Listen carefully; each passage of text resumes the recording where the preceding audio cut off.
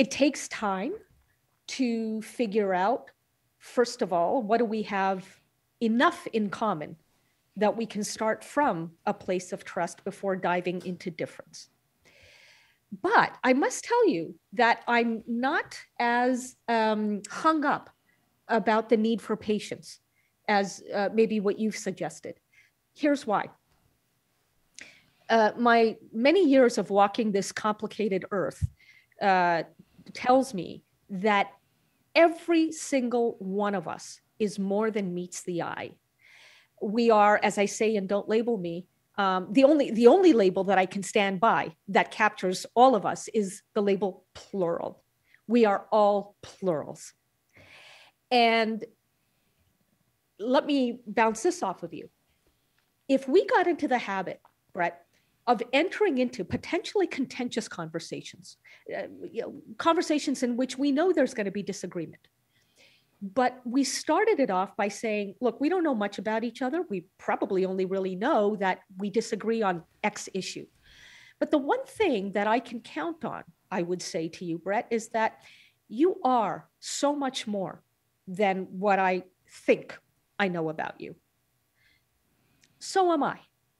I'm so much more than what you assume about me. And can we agree, therefore, that in this conversation, I'm not going to judge you or judge the totality of who you are based on your position uh, on this particular issue?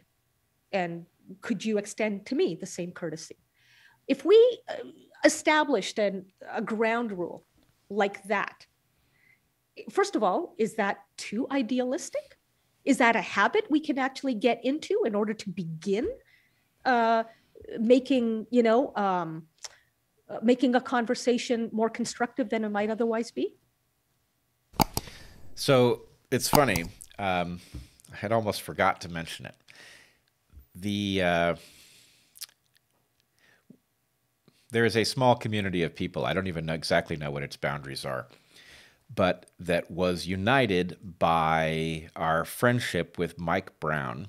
Mike Brown used to hold a uh, a gathering he called Science Camp, where he would bring scientists to a particular island, and we would talk to each other about what we thought were true was true, doing exactly the sort of thing you and I are describing here. And there was a thing that we had called Double Island Rule. The Double Island Rule, because we were meeting on Double Island, was that when somebody says something that sounds stupid, you know they wouldn't be in the conversation if they were stupid. Therefore, you are obligated to imagine that what they have said makes sense relative to some framework, and you're obligated to look for it, right? Leaping to the conclusion that because somebody has said something preposterous, um, that they are obviously not making sense wouldn't wouldn't be a reasonable thing to do in that context. Now you can't apply this rule just any old place, right? Lots of people say lots of stupid stuff, but in the context where you have uh, curated the discussion so that everybody there knows what sense sounds like. At the point people stop making sense, there's typically a reason for it, and very frequently it comes down to one of these uh, glossary comparisons or something like that. So um, I, I, I love your approach to this, which is, you know, all wise people recognize that you, that I might be the central player in my story, but that you are surely the central player in your story. Right. And therefore, I need to correct the discussion for the fact that if each participant is having that experience, that, you know, and this is someplace very important to me. We are actually having a conversation that exists between us. The important thing about this conversation is not what happened in your head. That could go on to be important. You could go on to do something with it. Likewise, I could go on to do something with it. But the primary import of this conversation is that you and I have created an emergent space between us in which we have reached an understanding right? And it contains pieces of what I think and pieces of what you think. And it seems to be hanging together in the middle in the sense that we seem to agree on important things that uh, are enlightening in their own right. And it's very hard, I think, to create a desire to do that for people who have too frequently been rewarded for, uh, let's say, zero sum competition in discussion, where typically they feel good if they score points in a discussion uh, or if uh, they get lots of um, kudos for having one upped somebody. Right. Um, but if your experience is that actually, if I if I just simply have faith that there is an emergent feature to this conversation, and I work to enhance the emergent part of the conversation, that it tends to be good for me in ways that I can't even put my finger on. So I don't need to worry about it. Well, and and I think that it tends to be good uh, in a way that I can, uh, and I think most people, if they think about it this way, would easily be able to put their finger on, which is this: look, if if you if you want to be heard, whatever your message, the surest way, the most reliable way to get a fair hearing is to give one first. Mm. Not because there's any magic in that, but because there is uh, a biological process here where, uh, Bret, if I am asking you sincere questions about where you're coming from, and I'm listening to understand, not to win, because there's no need to turn a perfectly good discussion into a debate. Um, and I continue to ask you authentic questions from a place of curiosity and not judgment. Whatever emotional defenses you may have walked into the conversation with because you knew that we disagreed on something, hence the high emotional defenses, now your emotional defenses can lower. And that in turn means that the clatter and the clutter in your head of wanting to poke holes in whatever argument I'm about to make can, at the very least, diminish.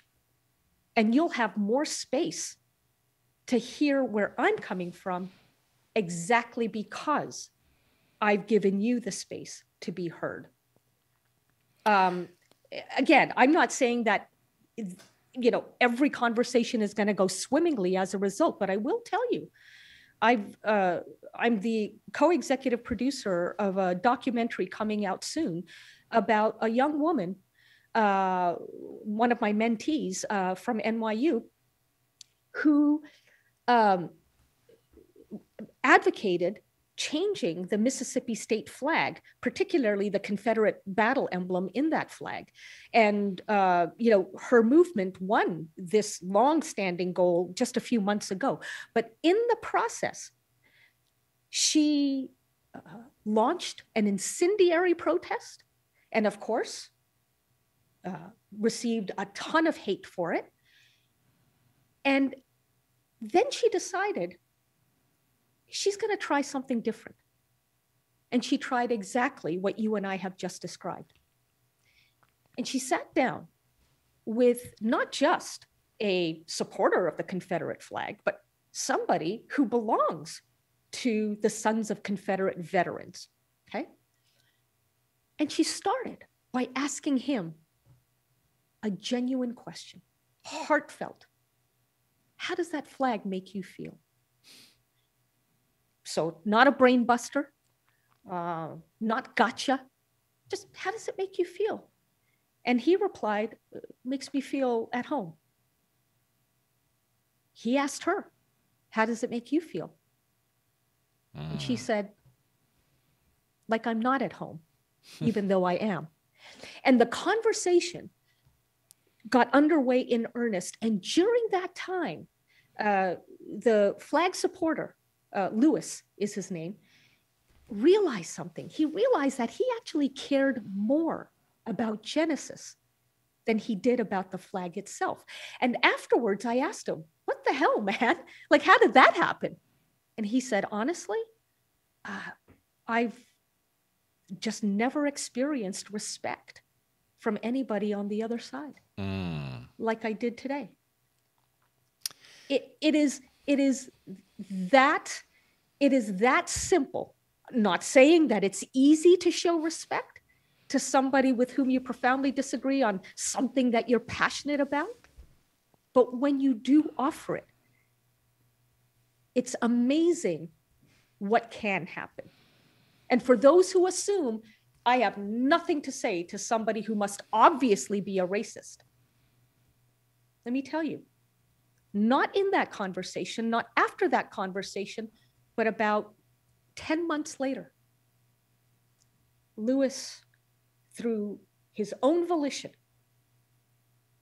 pulled down the Confederate flag that was flying in his backyard, neatly folded it up, and put it in a box called Things of the Past. And between that conversation and that moment, he not only joined the New Flag movement, but this is so beautifully, deliciously Mississippi, he became a mentor to the leaders of the movement, teaching them how to protect themselves with guns, how to work a gun, how to clean a gun, how to maintain it, how to get it registered. He was their guru. And let me tell you, that gave them the peace of mind to go boldly forth. That is a beautiful story. It is a really beautiful story, and it resonates for so many different reasons. Um, and the Confederate flag is the perfect thing to be at the heart of that story because anybody who has um, engaged Southerners who favor that flag knows that it is not simply, and in, in general, is not even flown by people proudly as an assertion of uh, racial dominance. That's right. It is flown as a symbol of Southern identity for certain people. Yeah. Right? Heritage. Heritage. Now, those of us who, you know, from the North or black or whatever, rightly understand that flag as a threat, right, to something important. And so you can just see how the conversation uh, bogs down in the assumption of what the other must be thinking. And, and, and the key word there, assumption. Right, the assumption. Right. And so the other thing that I would say is I have not lived that story over the Confederate flag, but I have lived many analogs of this story where there is somebody I'm not supposed to be able to talk to, and something in me that I think others would regard as perverse finds that challenge irresistible, right? I love to talk to such people. And when I do, it's not every time, but it's certainly the majority of times. It is readily possible to cross that bridge. It is frequently delightful what you find on the other side. It's not typically enlightened. They may not feel that I am enlightened.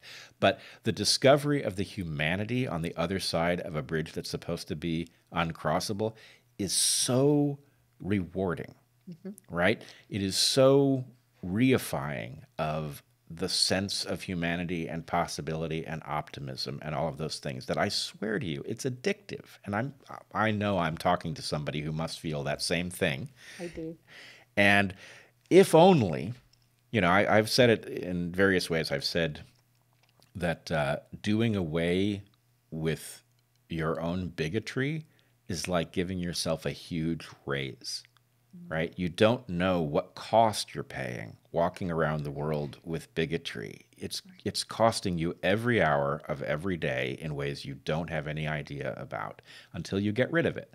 And when you get rid of it, you'll discover people are more interesting they're more fun, they're more surprising, and uh, you know, it, it, really is like some giant raise that just makes you freer than you were before. If, Life becomes an adventure. It does, yep. and and if people understood that, like you know, if you could give yourself a, a raise, a monetary raise, would you do it? Of course you would, right? If you could give yourself a raise that just didn't happen to pay in money, but it paid in something else that's more valuable, would you do that? Of course you would. Well, here's one. You know, to the extent that you have bigotry, right? Just cancel it. Just try it out. Try it out for a week, right? Yeah. See if you're not a happier person. See if you don't feel smarter, frankly, right? Because these biases, they don't help you think clearly, right? That, so true. They're they're they're about. In fact, they battle. prevent you from thinking right. That or, you know, from actually thinking. That is exactly exactly right. That's a lovely story. What is the name of the documentary? It's called Mississippi Turning. Oh, good one. and you know, some people may think that as a result of the new flag and all that it implies, that uh, you know Mississippi is turning, as in spoiling, right? And other people will see Mississippi, Mississippi turning for the better. So either way, we've got ourselves covered. Love it. It's a it's a deep play on words, um, and the. Uh, did I glean that the the protagonist uh, or one of the protagonists of your story, her name was Genesis? Genesis, yes. Genesis. Yep. All right. Well, that's interesting too. Um, yeah. Okay. That's that's fantastic. I look forward to this this documentary. Um, it uh, maybe it will succeed in making the point to many about what might be on the other side, and we can stop this nonsense of accusing people of being deplorable or right. uh, whatever it is that people somehow imagine. It's hard to once you stop doing that. It's hard to even understand what is in people's minds about it.